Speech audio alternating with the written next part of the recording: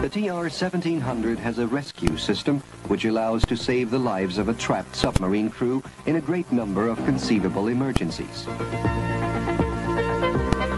A pressure-proof bulkhead divides the submarine into two compartments, each allowing the crew to survive for up to seven days, until they can be picked up by a rescue submarine, such as the DSRV of the U.S. Navy.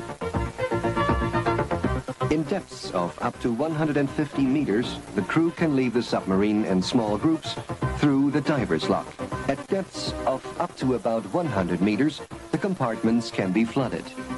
Once pressure equalization has been attained, the crew members leave the boat in quick succession and climb aboard the life rafts released from the submarine before. Another safety feature is the hydrazine system.